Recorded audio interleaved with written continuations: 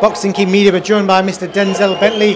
Denzel, you've come down to support Isaac Chamberlain, I'm guessing. How's, how's the fight gone? Yeah, good performance, man. First round, uh, free caught with a body shot. I called a few shots earlier on, and I was thinking, come on, get on it, but you don't what you needed to do. You hurt the guy, put him with the body, put down the body shot, and the guy didn't make the count. So happy with that. Can't complain about that. Let's jump onto yourself. You've last fought against Sam Evans. It's been what four, or five months now. What are you waiting for now? What's next for you? Um, early next year, I think I'll be out. Um, so I'm just in the gym, staying ready to when they got a show, when they announce a show, whatever it may, the case may be. But I don't know what's next. To be honest, I've just told them, listen, get me out, get me anything, whatever titles, just get me out. I swear, I, I want to be an active fighter. That's the only thing I want to be next year is just active. Because this year, I had two fights, and that's not enough for me. I'm in the gym all year round, so two fights ain't enough for me. I need COVID year, the back end of COVID, I had three fights. So that's the type of guy. I, I need four fights minimum a year, man. Three, four fights a year.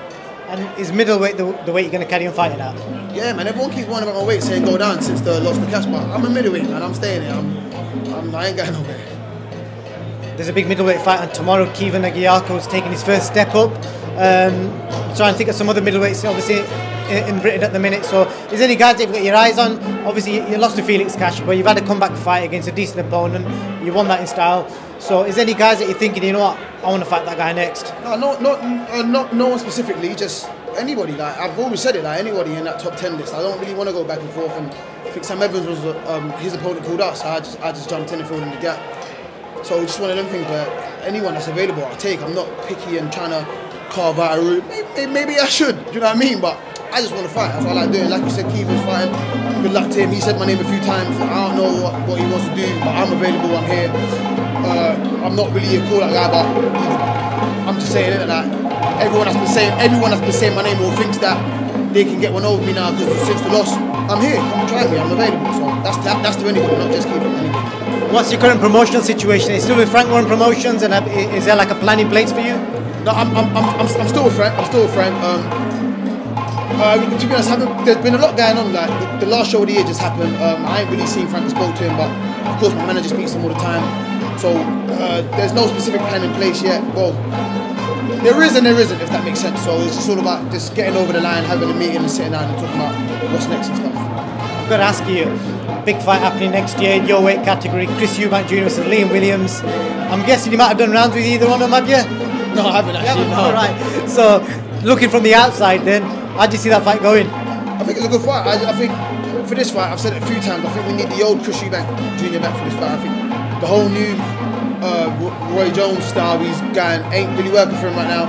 Even though he won his last two fights, but I just don't think he's working for him right now. Uh, you can see he's thinking about his work, which is good, but the whole Roy Jones thing just ain't cutting it. And I think it's too short a time for him to go in with that style against Williams. I think if he goes in there with that style against Williams, Williams beats him. Williams is a dog. Williams is going to go in there and try and stick on him. So I think we need the old Eubanks and we're going to have an explosive fight. But I think Williams can draw out the old Eubanks and we have that explosive fight, yeah. Okay. So, you know, obviously, you're not fought for a while. You're obviously staying busy in the gym. But away from boxing, what else are you doing at the moment? Is it, have you got your hands in something or have you got any hobbies, or anything you can tell the fans about?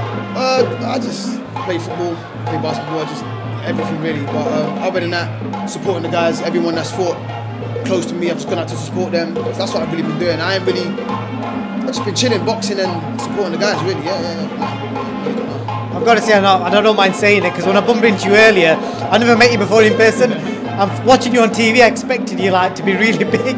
It's quite deceiving. So you're saying people are telling you to like go down in weight. So I could probably see that because obviously you're tall, but you're obviously quite lean. Yeah, I'm quite lean. Obviously, I've got a lot of clothes on as well. So I'm having a bit of muscle now, joking. But um, yeah, I'm not. I'm not the. I'm not massive, but on, on telly, everyone looks bigger. You know what I'm saying? So nah, I'm, yeah, but it's alright. and plus, when I fight, my hair's all back and that, so probably. I'm, I like it like that. I'm, I'm, I'm happy when I'm not easy to spot, so I'm alright. Yeah. Stay low key. So I'm gonna let you sign off, but before I let you go, just give me a name. Anyone, in because I'm getting British boxing is a, is a place where you're looking for a next big fight. Just give me a name, whether it's somebody in Frank Warren's books or another promotion stadium. Who does Denzel Bentley won in 2022? You know what? Not specifically. No, I'm still on my comeback trail. So I'm I'm I'm carving at that route to come back and be explosive and just remind everyone who I am and what I'm on in it. So I ain't thought of no names if I'm being honest with you, but I do want a title fight some, at some point next year, and I want to get a world ranking back before the year ends. So that, that's my goal for next year. Denzel, I wish you all the best. I'm pretty sure you'll be on the comeback trail and big things for you in 2022. Thank you, man.